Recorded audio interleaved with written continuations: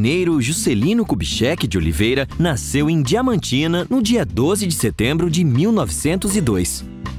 Formou-se na Faculdade de Medicina de Belo Horizonte. Na carreira política, teve uma rápida ascensão. Começou como secretário do governador de Minas Gerais, Benedito Valadares. Foi deputado federal, prefeito de Belo Horizonte e governador de Minas.